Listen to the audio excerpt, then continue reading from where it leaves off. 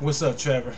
I just wanted to make this uh, second video response to uh, your question that you had in, in the first response I made about Matthew 3 and 14 and John 1 and 32, where seems to be a, a contradiction. In Matthew 3 and 14, uh, John the Baptist is saying, uh, telling Jesus that he needed to be uh, baptized by him recognizing Jesus as a Messiah.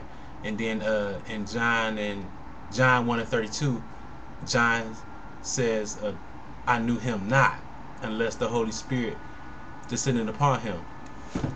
Well, it seems like in a contradiction, but it's actually not. Because if you think about the the, the historical context at that time, uh, Jesus' believers who walked with him and knew him as a Messiah uh, were looking at him as the Messiah who was coming to be their earthly king, who was coming to uh, deliver them from the Roman Empire at that time. And so they recognized him as the Messiah, but they didn't have the full revelation of who the Messiah was, actually being God. Uh, and we can see this. Uh, we can see this in uh, in many scriptures.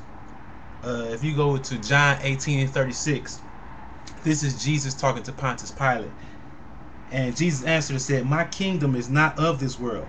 If my kingdom were of this world, my servants would fight, so that I should not be delivered to the Jews. But now my kingdom is not from here. And so he either had to let Pontius Pilate know that my kingdom is not of this world.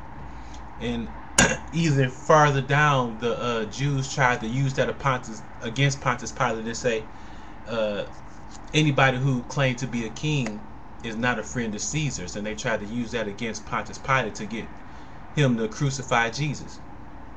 Also, in the book of John, in chapter 4, verse 24, Jesus was talking to the woman at the well, the Samaritan woman, and he had to clarify clarify to her who he was. Because, you know, she said the Jews worship say we must worship in Jerusalem and the Samaritans worship on this mountain. But Jesus told her that the time comes and even is now that where men must worship the Father in spirit and in truth. Letting them know it don't matter where you worship, you worship God in your heart because God is a spirit. He's uh, must be worshipped in spirit and truth. Also, if we turn to John 19 and 12,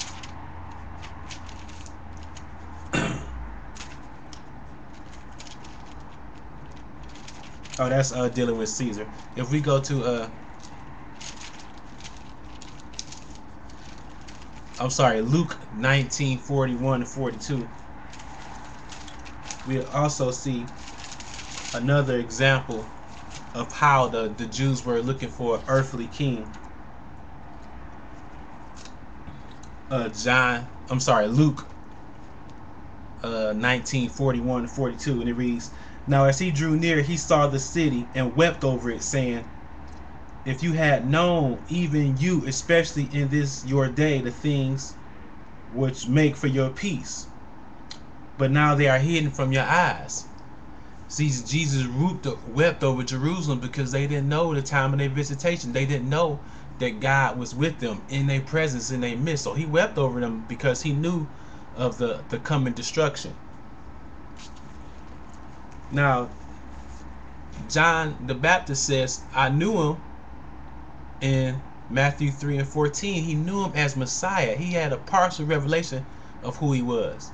And then after he baptized Jesus in John 1 and 32, he knew that he was God then. That's when he said, that's why he said, I, I didn't know him.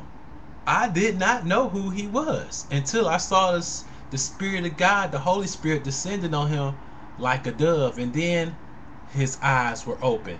The same thing happened with uh with uh Thomas in John in John 20 and 28. You know, Thomas walked with Jesus and he accepted Jesus as the Messiah. But he's the one he said, unless I see the handprints and the holes in his hands and stick my hand in his side from the spear wound, then I'm not going to believe. So Jesus told him in 20 and 28, And Thomas answered and said unto him, My Lord and my God. He saw the resurrected Christ and he recognized him as God. So it's no contradiction between Matthew 3 and 14 and John and 1 and 32. It's just that they didn't, uh, the John the Baptist didn't have the full comprehension of who Jesus was. He knew him as the Christ, he knew him as the Messiah.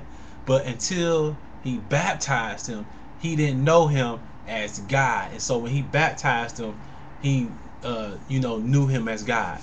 He just didn't have a full revelation. I hope that answered your question. I hope I was clear on that. All right. Thank you. Have a good day.